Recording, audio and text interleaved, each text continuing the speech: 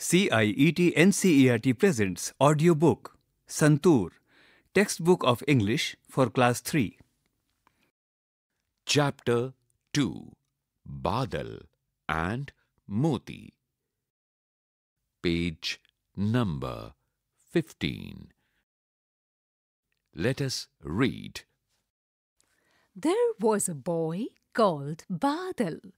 He lived with his mother in a village, and they were very happy. One evening, when Badal was returning from school, he saw a puppy shivering in the cold.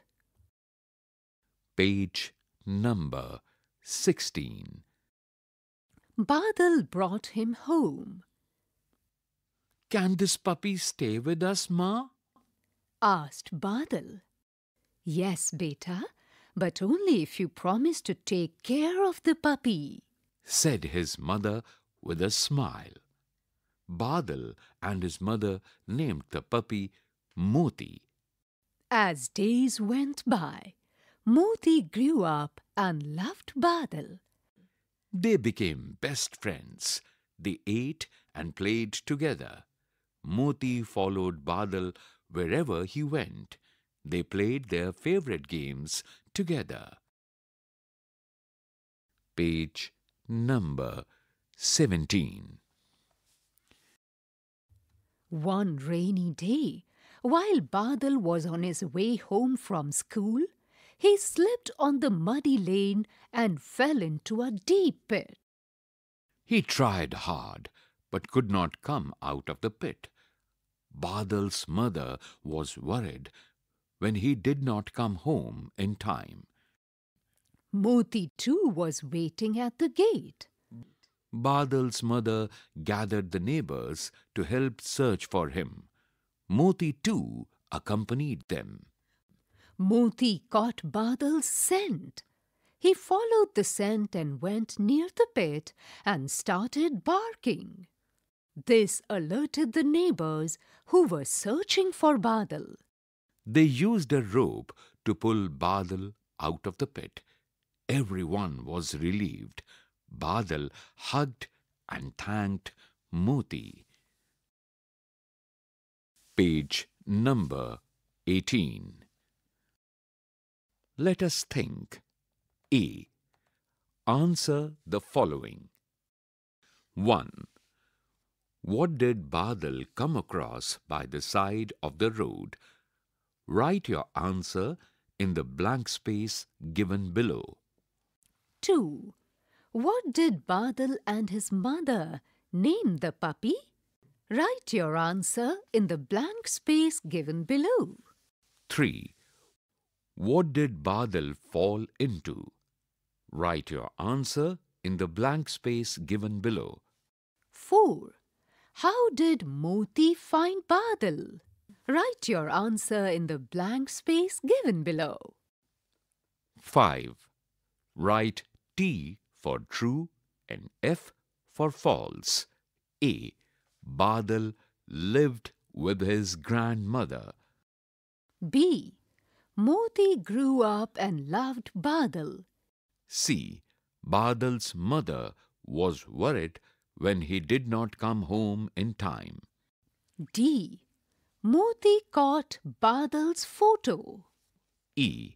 Badal hugged his puppy Moti and thanked him. There are brackets given in front of every question.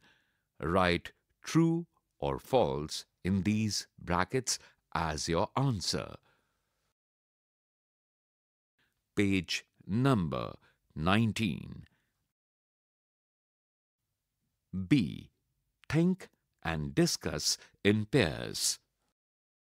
1. Do you remember when you fell down last time? How did you fall? Who picked you up? Share your experiences. 2. Do you have a pet? Do you know someone who has a pet? 3. If you were allowed to keep any animal as a pet, which animal would you choose? Why? Let us learn. A. Look at the following words from the lesson. There are five words given below in a yellow colored box. These words are lived, loved, shared, gathered, thanked. Notice that all these words end with ed. All these actions have already happened. Add ed and write. Walk plus ed is equal to Write your answer in the blank space given on the right hand side. Similarly, write play blank space, Talk blank space. ask blank space, Touch blank space. On the right hand side, an example is given in a picture. In this, a little boy is shown jumping from above, and the word written below is jump plus ed is equal to jumped. Note to the teacher. Informally introduce the concept of past tense. Encourage learners to recall their actions from the previous day. Page number 20. B. Match the words to make pairs. Color each pair with the same color. Two have been done for you.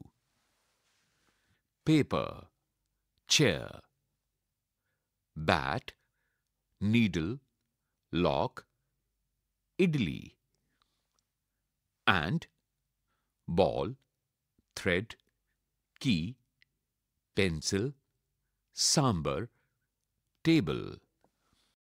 The two examples that have been done for you are in yellow and blue colors, so you can link the pairs as paper and pencil. chair and table. Likewise, join other pairs for yourself, children. Let us listen. A. Your teacher will read out the story of Badal and Moti once again to you. Now read the following sentences and number them in the sequence of the story. The first sentence has already been marked for you. One rainy day, he slipped and fell into a deep pit. Badal and his mother named the puppy Moti. Badal hugged Moti. Badal came across a puppy by the side of the road. Moti accompanied Badal's mother to search for him. Moti followed Badal's scent and went near the pit and started barking. Badal came across a puppy by the side of the road.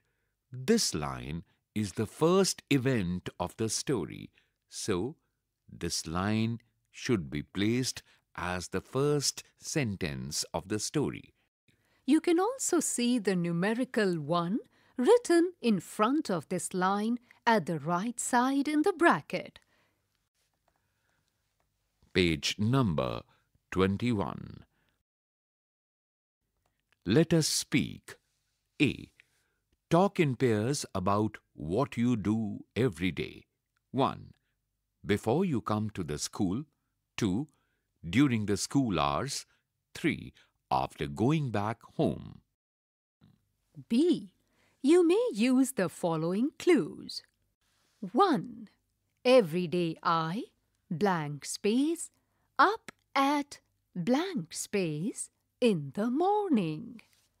Then I, blank space, my teeth and go to the blank space. After that, I take a blank space and dress up for school. I blank space breakfast and I blank space to school. 2. Fill in the blank space given. 3. Fill in the blank space given. Let us write A. Look at the pictures.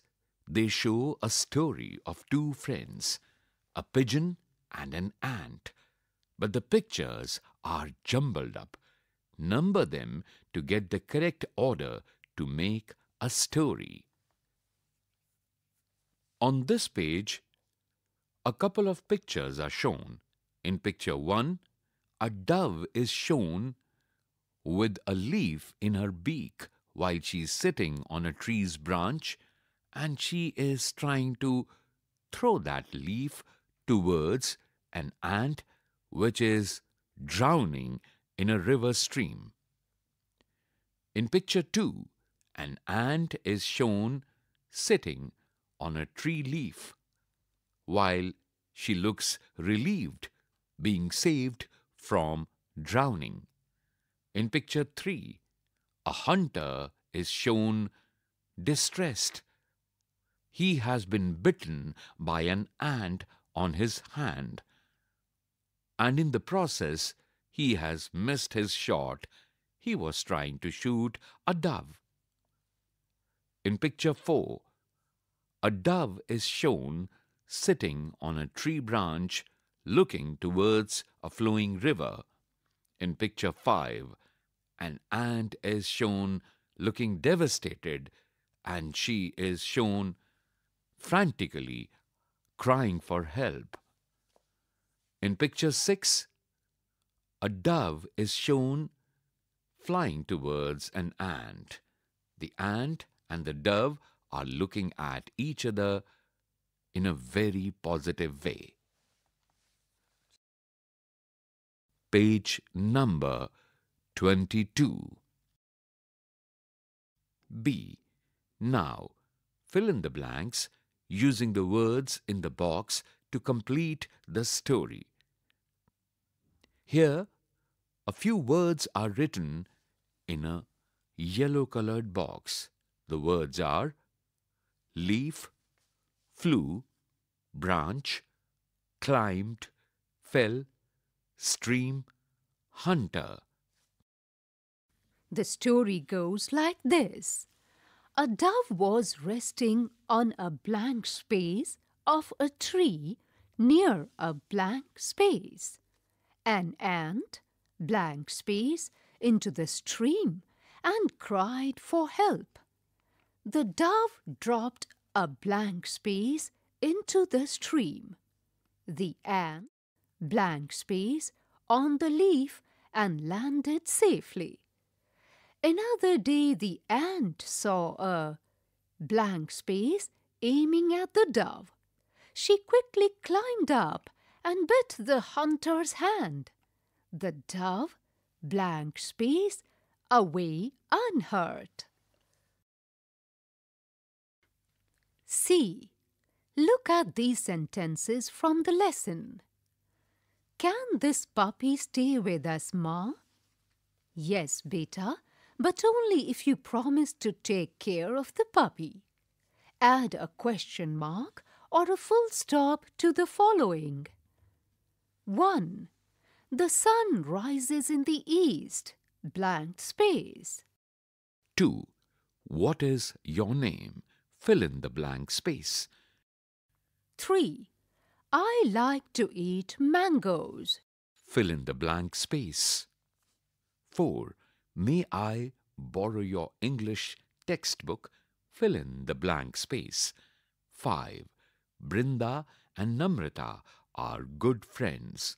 Fill in the blank space. 6. Whose shoes are these? Fill in the blank space. With a question mark or a full stop. Note to the teacher. Introduce the terms question and statement while explaining the punctuation marks. Page number 23. C. Complete the following conversation between two children. Namaste, I am Anandi. What is your name? Namaste. I am fill in the blank. I live in blank space. Where do you blank space? I live in blank space. I go to blank space school. Yes, I study in that school too. Blank space followed by a question mark. I am in class blank space. Followed by a full stop. Which class are you in? Followed by a question mark. I am in class blank space followed by a full stop. Nice meeting you. See you in school tomorrow. Full stop. Page number 24. A. Look at the picture below. It shows three children playing. Would you like to add anything to this picture? Use your crayons or color pencils to add to the picture. Santoor, you were just listening to this audiobook, the textbook of English for class 3. Narration Babla Kocher and Mamta Malkani. Technical coordination Bati Langlingdo. Sound recordist Mayank Kumar. Assistance in production Soumya Malik. Directed and produced by Vimlesh Chaudhary. This audiobook is presented to you by CIET NCERT, New Delhi, India.